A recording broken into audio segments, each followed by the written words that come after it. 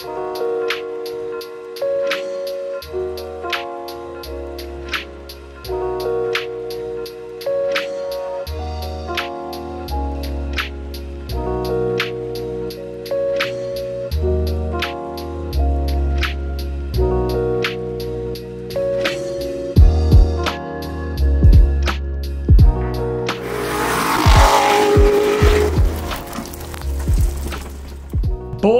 boy, another day of rain. Hope you guys are having a great day. Hopefully, a better day than we are having here. It's been really bad uh, for. Oh, that's not thunder. It's a plane up there. Gone through it, uh, but it's been really bad here for about a week. I have content lined up, but I can't do anything because it's racing content, and uh, that requires, well, weather not like this. But I do have an important update for you on this channel today. Uh, I did cover this on my Street Speed channel already, but many of you may have not seen that yet. So uh, I'm covering it here because it is big news. It's really big news. It's kind of sad, but there is good to go along with it. So um, welcome to the family channel. Here is the family channel update. I just took the Lambo out to Costco and I'm not joking, uh, had to pick up a cake and you can see the heat coming off the engine bay, but I do have a little garage update for you before we get into the house stuff. Both of my off-roaders are back. The Baby Ram and the Corvette. Now, if you recall, the Ram uh, broke after the mud pit debacle. All it needed actually was a steering box, so not bad. Uh, not a bad fix. And then the Corvette, the clutch exploded while doing some 80 mile per hour slides. The kids are getting home from school, I believe. But yes, doing some slides in the mud. Uh, now that is fixed as well, thanks to Send It Steve. So neither one was bad. Neither one was a not a very serious injury, luckily. Uh, one more garage vehicle update, but not about one of my vehicles. We're talking about a certain red Z06. I did have to be uh, neighbor Rich's Uber driver yesterday to uh, bring him home because his car needed two things. Yo, what are we doing? Hey, we're having fun. I don't have the GoPro, but I had to show that we're down here having a good time. I heard you go by. Yeah, So what are we doing, Rich? What are we doing? we are doing something Woo. very exciting. We're changing out You're getting some the tires. Michelin- Yeah, we're changing out the Michelin Ooh. for a couple of R triple eights Okay. And- Okay. And getting an inspection. and getting an inspection. Little done. yearly. I'm excited about it. I really am. All right, buddy. Getting well, it done. I'll take you home. Thank you, sir. All right, let's go. Always a good time with Rich, always a fun learning experience. Now, with the vehicle updates out of the way, let's talk about the house. Got some bad news. Well, good news about the house, bad news about the farm. The farm has been sold, guys. The farm has been sold, and it's really sad. I never thought it would come to this, but it really is for the best. I was having some issues with neighbors. I filmed a little bit up there um, earlier that I'll show you. Okay, guys, so the bad news is I have sold the farm, and it's really sad. I never thought I would be doing this, but uh, there's a lot actually that's been going on behind the scenes that you guys have not heard about because I didn't want to number one, I didn't want to talk about anything until it was all final. Number two, I didn't really want to talk about the negative stuff, but it's been kind of bad up here, actually. Uh, now, I started, when I bought this land in 21, it was 20 acres up there, like five here, 25 total, and it was completely by itself, besides the neighbors.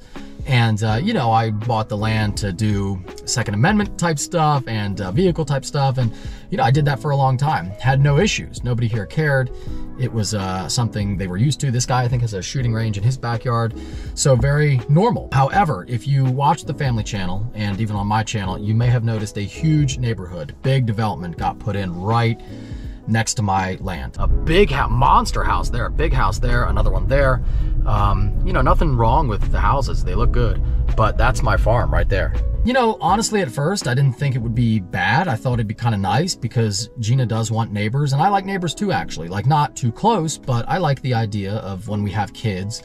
You know, I don't want to be actually in the middle of nowhere. I know some people like that, and that's cool too, but I actually kind of like the whole neighborhood thing, at least, you know, somewhat. Again, not close, too close, but something where you can feel like you're part of a community and the kids can have friends and all that. Like I do actually like that. So I was kind of excited about it. Um, however, it got bad pretty fast. I had issues with people calling the cops. And uh, it's not even like a fifth of the way built yet. So, um, then it got worse because I had somebody who bought a house over there and I had a whole video filmed, but I don't even want to get into the legal drama and all that. I just don't. Um, luckily, none of it's bad for me. Like, everything, I, I didn't do anything wrong, so I'm fine. Don't worry about me. But I had somebody, I let people hunt my land because I don't care. I don't really hunt myself, but, um, you know, I let people do it. My buddies, a person who bought one of the homes, actually trespassed onto my property and destroyed the guys that I let hunt the land. They destroyed their tree stands. They got it all captured on their gaming camera, their game cameras, and uh, it's a whole big thing. So they're in a, they like want to sue the guy. They're pressing charges. And then it got worse because a neighbor here uh, got a contract to dump a ton of road waste from a highway expansion project nearby they're bringing all of that here and it's a five year estimated project and you know what that means road work estimated in PA. I mean, I don't know if every state is as bad as PennDOT, but um, if PennDOT says it's going to take five years, figure seven. So this one road, this is the only road into where our home would have been right here, uh, is going to have dump trucks and machinery driving on it for the next five years. And it's the only way in and out. The only way. There is no other way to go. My bad. GoPro shut off. Nothing new there. Um, but yeah, there is no other way in or out. There is a stream, uh, trees. Even if you could knock the trees down, you can't drive through a stream. I know that. Uh, this is the only way in and out. Um, so that's a five year issue. And there were a lot of things all coming together telling me that this is not going to work. And, you know, I came to the realization that my dream of doing everything at one place is not realistic. Um, I wanted a space where I can drag race and build a huge, like, literally a runway strip and have a home and have a neighborhood nearby. You can't do it. And uh, I guess I was kind of dumb to think I could.